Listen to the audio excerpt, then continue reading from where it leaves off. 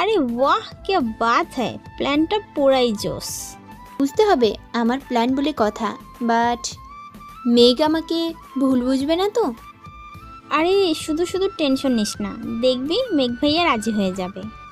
আমার তো মনে হয় না কজ ও তো রূপসাকে ভালোবাসে। আরে বাদ দে তো ওটা ভালোবাসা না ওটা বালুবাসা। এই তো গুড গার্ল চল এখন প্ল্যান অনুযায়ী অনেক কিছু কেনাকাটা করতে হবে তো। চল চল তাড়াতাড়ি চল। মিহু আর অনু রেডি হয়ে বেরিয়ে গেল কেনাকাটা করার জন্য। এদিকে নীলা বসা থেকে উঠে দাঁড়িয়ে নিজের জামা কাপড় ঝাড়ছে। গাড়িটা যদি ঠিক সময় ব্রেক না করতো তাহলে ও এতক্ষণে উপরে চলে যেত। ও রেগে গাড়ির কাছে যেয়ে গাড়ির ড্রাইভিং সিটের গ্লাসে নক করা বাদ দিয়ে সাইড থেকে একটা মাঝারি সাইজের পাথর নিয়ে গাড়ির গ্লাসে মারল। গাড়ির গ্লাস সাথে সাথে ভেঙে চুরমার হয়ে গেল। নীলা খেয়াল করল গাড়ির ভেতরে একটা ছেলে হাত দিয়ে নিজের মুখ ঢেকে রেখেছে। ও রেগে গাড়ির ডোর খুলে ছেলেটাকে ঝাড়তে লাগল। আব্বে, ওই দিনকানা, গাড়ি ড্রাইভ করতে পারিস না? ড্রাইভ করতে এসেছিস কেন রে? তোর জন্য আমি আর একটু হলেই উপরে চলে যেতাম। তারপর কি হতো? আমার বাবা মায়ের কি হতো? আমার ভাইয়ের হবু বউয়ের কি হতো? আমার ভবিষ্যৎ জামাইয়ের কি হতো? আমার মতো কিউট একটা বাচ্চা মেয়েকে মারলে পেতনি হয়ে গলায় ঝুলে থাকব সারা জীবন। এই বলে দিলাম। নীলা চোখ সরিয়ে ছেলেটার দিকে তাকিয়ে থ হয়ে গেল। নীলা কিছু বলার ভাষা হারিয়ে ফেলেছে। ও কী বলবে কিছুই বুঝতে পারছে না। ওর দু চোখে পানি চলে এসেছে। কিন্তু তাও ও চুপ করে ওর সামনে দাঁড়িয়ে থাকা মানুষটির দিকে তাকিয়ে আছে। ওর চোখের পলক পড়ছে না। অপলক তাকিয়ে আছে ও ছেলেটির দিকে। হঠাৎ ওর কী যেন মনে পড়ল। ও তাড়াতাড়ি নিজের চোখের পানি মুছে নিল আর উল্টো দিকে ঘুরে হাঁটা শুরু করল। হঠাৎ পেছন থেকে একটা হাত ওর হাত ধরে টান দিয়ে নিজের সামনে ঘোরালো। নীলা মাথা নিচু করে দাঁড়িয়ে আছে। ছেলেটা নীলার হাত ধরে রেখেছে। নীলা ওর সর্বোচ্চ শক্তি দিয়ে হাত ছাড়ানোর চেষ্টা করছে, কিন্তু ও পারছে না। নীলা, কি হলো? কথা বলবে না? প্লিজ নীলা এভাবে চুপ করে থেকো না। কিছু তো বলো। Please speak out speak out damn it ছেলেটার চিৎকার শুনে নীলা কেঁপে উঠল আর ওর চোখ থেকে টপ টপ করে পানি পড়তে লাগল। Hey please stop crying please leave me Nila তুমি এমন কেন করছ? ছাড়ো আমাকে আমি তোমার সাথে কোনো কথা বলতে চাই না। ছাড়ো। Nila please forgive me just shut up ছাড়ো আমাকে। নীলা ছেলেটিকে জোরে ধাক্কা দিয়ে সরিয়ে দিল। তারপর ও ওখান থেকে দৌড়ে চলে গেল। ছেলেটা নীলার যাওয়ার দিকে তাকিয়ে আছে। নীলা ওখান থেকে সোজা কলেজে চলে গেল। এদিকে মিহু আর অনু শপিং মলে এসে কেনাকাটা করছে।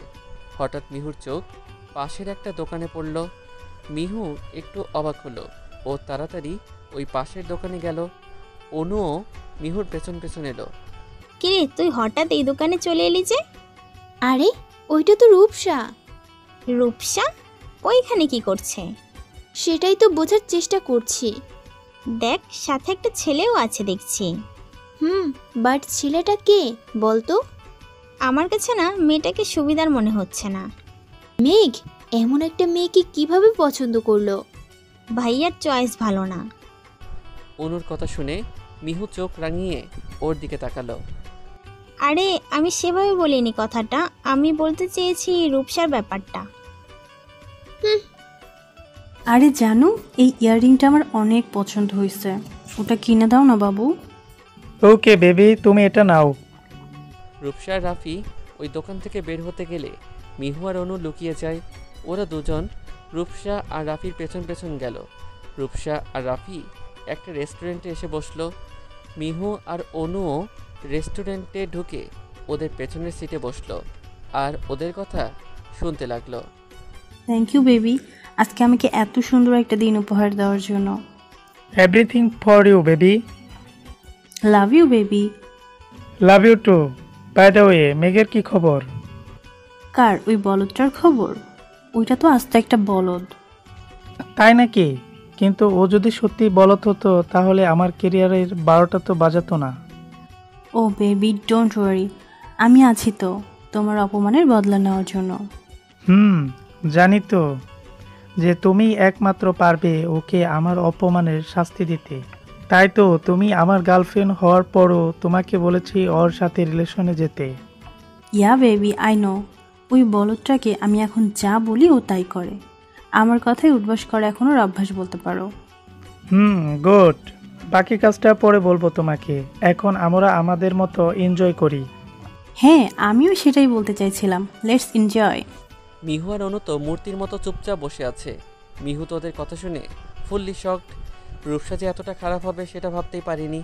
না মেঘকে বাসায় যেই সবটা বলতে হবে ওর কোনো ক্ষতি আমি হতে দিব না। রূপসা যে ওকে নিজের মিথ্যে প্রেমের জালে ফাঁসিয়েছে সেটা আমি ওকে আজকেই বলে দিব ভাবছে মিহু। অনু মিহুকে হাত দিয়ে হালকা ধাক্কা দিল। মিহু অনুর দিকে ভয়ার্ত দৃষ্টিতে তাকিয়ে আছে কারণ ও মেঘকে নিয়ে টেনশনে আছে। চল এখান থেকে। অনু মিহুর হাত ধরে টানতে টানতে নিয়ে গেল ওখান থেকে। মিহুর চোখে মুখে স্পষ্ট আতঙ্কের ছাপ রয়েছে। অনু মিহুর হাত চেপে ধরল। মিহু টেনশন কেন করছিস? দেখিস সব ঠিক হয়ে যাবে। মেঘ ভাইয়ার কিছু হবে না দেখিস? রূপসা যেন মেঘের কোনো ক্ষতি করতে না পারে কারণ মেঘের কিছু হলে আমি মেনে নিতে পারব না। সব ঠিক থাকবে টেনশন করিস না। আর তাছাড়া রূপসার ব্যাপারটা তুই আজকে বাসায় যেই ভাইয়াকে বলে দিবি। হুম সেটা তো অবশ্যই বলব। ওরা আর টেনশন না করে বাসার দিকে রওনা হলো। এদিকে নীলা চুপচাপ ক্লাসে বসে আছে। রাইসা আরিফ আদি আর আরোহী। নীলাকে সেই কখন থেকে জিজ্ঞেস করছে যে ওর কি হয়েছে। কিন্তু ও কিছুই বলছে না। ও শুধু একটা কথাই বলছে। ভালো লাগছে না। আমার চুপ থাক তোরা তখনই ক্লাসে প্রিন্সিপাল ঢুকলো। ক্লাসের সব স্টুডেন্টস দাঁড়িয়ে তাকে সম্মান জানালো। গুড মর্নিং স্টুডেন্টস আজ আপনাদের ম্যানেজমেন্টের নিউ টিচার আসবে। এটা আপনারা প্রায় সবাই জানেন। কারণ আপনাদের পুরনো ম্যানেজমেন্ট টিচার অনেক অসুস্থ। তাই উনি এখন বর্তমানে ইন্ডিয়ান আছেন চিকিৎসার জন্য। আর তাই নতুন টিচার নিয়োগ করা হয়েছে। এক্সকিউজ মি স্যার আপনি ভিতরে আসুন। প্রিন্সিপালের কথা শুনে নতুন টিচার ক্লাসরুমে প্রবেশ করল। Students meet your new management teacher Neel Chowdhury কথা শুনে নীলা তাড়াতাড়ি ঘাড় ঘুরিয়ে প্রিন্সিপালের পাশে দাঁড়িয়ে থাকা নিউ টিচারের দিকে তাকালো। নীলার চোখ দুটো বড় হয়ে গেল। ওর বিষয় শেষ নেই। নীলাকে এখানে দেখে একটু আগেই তো ও নীলকে রাস্তায় ধাক্কা মেরে চলে আসলো। কিন্তু তাহলে নীল এখানে কি করে? আর ও ম্যানেজমেন্ট টিচার হয় কীভাবে? নীলের চোখ দুটো হঠাৎ নীলার দিকে যে আটকে গেল। এতক্ষণ তো ও এই নীলাকেই খুঁজছিল। নীলা রাগি চোখে তাকিয়ে আছে ওর দিকে। তা দেখে ও মুচকি হাসলো। প্রিন্সিপাল চলে গেল। Good morning, students. I am your new management teacher, Neel Chowdhury. I hope আপনারা আমার ক্লাস এনজয় করবেন। আর হ্যাঁ আমি কিন্তু খুব বেশি স্ট্রংও না, আবার খুব বেশি ফ্রিও না।